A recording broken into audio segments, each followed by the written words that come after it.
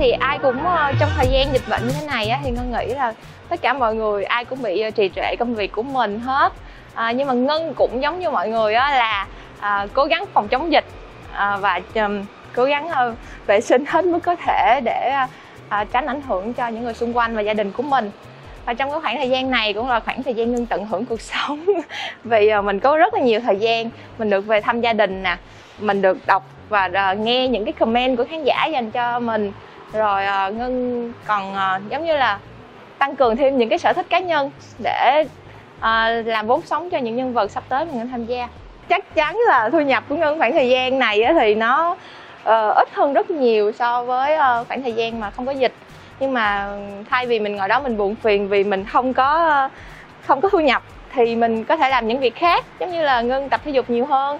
Ngày trước thì lo cứ lo làm từ sáng đến tối không có thời gian cho bản thân mình. Ờ, không có biết ờ, dưỡng da không biết làm đẹp. Ờ, thì bây giờ mình có nhiều thời gian hơn để tập thể dục.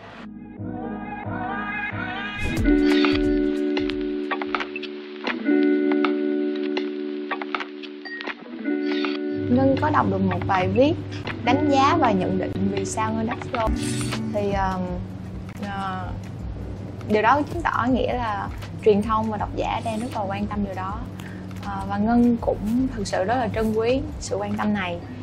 À, Ngân chưa bao giờ nghĩ hay là đánh giá là vì sao mình đắt xô hay là được ưu ái đến như vậy. Uhm, từ trước đến giờ những cái dự án mà ngân nhận đều là những dự án mà ngân cảm thấy bản thân mình được thử thách. À, những dự án có sức hấp dẫn với bản thân mình thì ngân chỉ đang cố gắng dốc hết lòng cho cái công việc đó và đang cố gắng từng ngày thì uh, ngân thấy là trong bài viết đó có nhận định là và đưa ra được đó là ngân uh, rất là chăm chỉ và cố gắng cho cái công việc hiện tại của mình. Và chắc là đâu đó nhà sản xuất và chương trình cũng nhìn nhận ngân ở một khía cạnh rất là tích cực ngân là một người cố gắng. Và ngân nghĩ ngân cũng là một người uh, biết nắm bắt cơ hội cho bản thân mình. Riêng về bản thân ngân á thì ngân nghĩ là uh, một phần yếu tố là chắc chắn là ngân phải có khả năng một nhà sản xuất tầm vóc thì họ sẽ không thể nào đánh cược vào những ờ, người những nghệ sĩ hay những nhân vật mà không đem đến những cái giá trị đích thực uh, cho chương trình. Thì tại sao không là những người khác uh, mà lại là thúy ngân? Thì chắc chắn là ngân phải có một cái giá trị nào đó. Cái gì cũng vậy cái gì cũng phải có cái giá trị và cái giá phải trả cả. Thì khi mà ngân tham gia nghệ thuật đây là một con đường thực sự ngân biết rất là trong gai và gia đình đã ngăn cản ngân rất là nhiều. Nhưng ngân có thể nói là mình đã bất chấp để mà đi theo con đường này. Thì cho dù nó đau khổ, hay nó rực rỡ, hay nó đơm hoa kết trái, hay nó như thế nào thì mình cũng phải là người gánh chịu hết. Có rất là nhiều bạn trẻ nhắn tin cho ngân hỏi là, chị ơi, làm sao mà em đủ tự tin và biết được con đường đó có đúng với mình hay không? Thực ra không ai biết trước con đường đó có đúng với mình hay không. Mà quan trọng nhất mình phải tin vào bản thân mình, giống như ngân đã từng tin vào bản thân của ngân. Ngân cứ đi theo những cái gì mà ngân ước mơ và ngân hy vọng. Để sau này ngân không hối hận. À, chứ à, nếu mà mình cứ hoài nghi mình cứ đi một bước mình cứ quay đầu mình nhìn lại phía sau ấy, thì mãi mãi mình sẽ không bao giờ có đích đến hết. Thì đó là những gì ngân muốn chia sẻ với các bạn trẻ. Chặng đường 10 năm của ngân ấy, thì có vô vàng biến cố.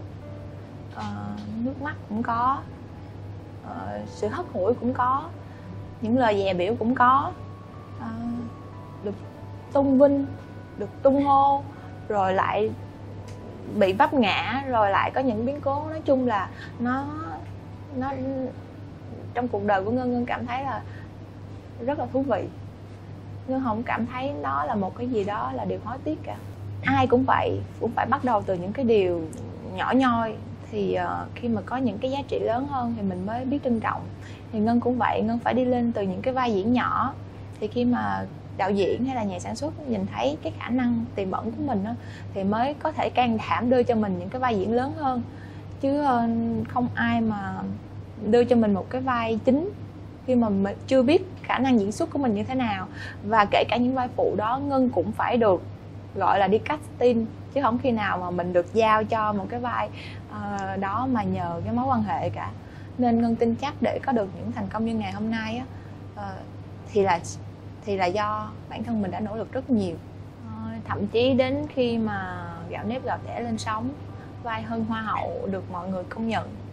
Khoảng thời điểm đó ngân vẫn bị nói là bình hoa di động vẫn bị nói là ăn mai uh, vẫn bị nói là um, chỉ diễn được đến thế thôi. Nói chung là có rất là nhiều ý kiến uh, nhưng mà ngân là một người đó, luôn sống hết mình và ngân tại sao ngân cái may mắn là ngân cũng không bao giờ suy nghĩ tiêu cực cả có rất là nhiều đánh giá mặc dù thời điểm đó mình đã được công nhận rồi á. Nhưng mà ngân sẽ chỉ đem những cái đánh giá tích cực để mà mình noi theo đó và mình đi tiếp thôi.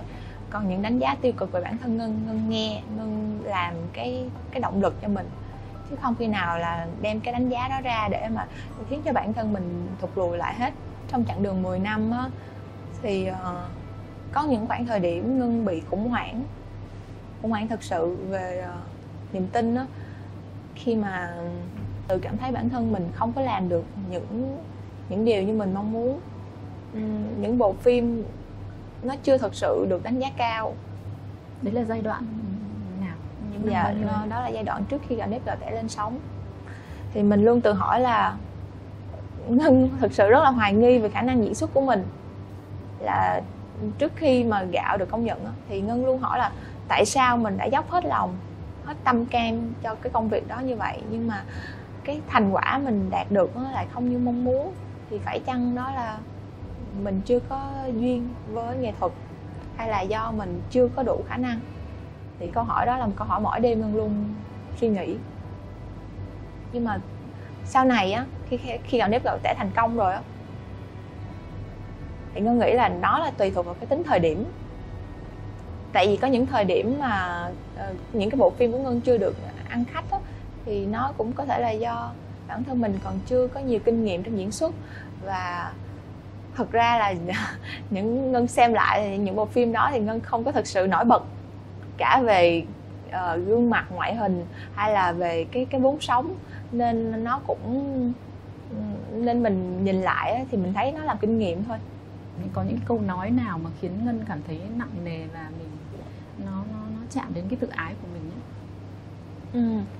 À, ngân thì luôn luôn trong suốt chặng hành trình cho đến thời điểm này thì vẫn có những câu nói khiến cho mình rất là đau lòng nhưng mà cái điều mà khiến ngân suy nghĩ nhất á vẫn là cái câu nói của ba ba nói là ngày xưa nếu như mà ngân nghe lời ba trước khi ngân nổi tiếng nha ngày xưa nếu ngân nghe lời ba thì có lẽ là ngân sẽ có một cái tương lai tốt hơn á thì cái điều đó làm cho ngân rất là suy nghĩ tại thực ra ba đối với ngân rất là quan trọng. Mà mình cứ theo một con đường nghệ thuật suốt 10 năm như vậy mà nó không mang đến một cái kết quả nào hết làm cho ngân rất là lo. Ờ, và cái sự dè biểu của mọi người thật ra nó cũng không có quan trọng bằng cái niềm tin của ngân dành cho gia đình đó. Nên khi mà cha nói như vậy làm cho ngân càng phải cố gắng gấp ngàn lần để cho những cái dự án sau. Mình bắt buộc phải làm sao để được thành công á. Cái điều đó làm cho ngân rất áp lực trong suốt một khoảng thời gian. Và hầu như là đêm nào mình cũng suy nghĩ xong rồi bị trầm cảm vì cái điều đó. À, có nghĩa là ba luôn khuyên ngân là phải từ bỏ. À, đúng rồi ba ba nghĩ là ngân sẽ không thể nào làm được á. Không tin không tin ngân có thể nổi tiếng. Không tin ngân có thể nổi tiếng là vì thấy quá cực khổ trong suốt bao nhiêu năm rồi. Vẫn không nổi tiếng nhưng mà suốt ngày cứ đọc những cái comment là khán giả chê khán giả trách rồi ờ, này kia. Thì ba nương biết rõ là vì ba nói những điều đó là vì ba cũng là người rất là đau lòng khi mà đọc về những cái điều đó. Thì ba chỉ muốn ngưng phụ nữ đừng có nhờ gọi là ừ, sống cái gì đó yên bình êm đềm nhẹ nhàng một chút đi để đỡ phải khổ khổ tâm. Thì uh, sau khi nghe ba nói xong không biết cái tính lì của mình ở đâu mình càng nghe nói thế mình càng phải muốn chứng tỏ bản thân và phải làm sao cho được. Cái thời gian mà ngân suy nghĩ nhiều bởi vì là mình cố gắng nhưng mà không có đạt kết quả thì cái sự sự căng thẳng rồi rồi trầm cảm đấy nó nó khiến ngân như thế nào? Ừ. ờ, ngân không có dám về nhà một khoảng thời gian luôn. Ờ, trong suốt khoảng mấy tháng ngân không dám về nhà. Tại vì uh, thời điểm đó ngân bị trầm cảm xong rồi ngân không có dám nhận phim tại vì uh, phim mình lên sóng thì uh, có nhiều người ủng hộ nhưng mà có nhiều đánh giá rất là tiêu cực. Xong rồi ngân cảm thấy là khi mà về rồi mình không biết đối diện với gia đình sao uh, thành thử ngân cứ ở thành phố xong rồi mình cứ miệt mài xem phim miệt mài uh, gặp gỡ bạn bè để cố gắng vui ngoài. có những đêm mà mình cứ đi trên đường mà mình không biết mình phải đi đâu mình làm gì uh, mình tương lai phía trước sẽ ra sao? Uh, khoảng thời gian đó khá là tiêu cực nhưng mà may mắn là ngân cũng vượt qua. Uh, chỉ vì một câu nói của một nhà sản xuất và đó là nhà sản xuất của phim dọn nếp vào tẻ đã nói với ngân là ngân phải tin vào những gì ngân làm. Thì khán giả sẽ tin ngân. Và cái câu nói nó là cái phương phương phương chỉ nam cho đến bây giờ của ngân luôn. Là bất kể ngân làm cái việc gì, ngân cũng sẽ tin vào bản thân ngân. Miễn ngân tin nó đúng thì nó sẽ là đúng.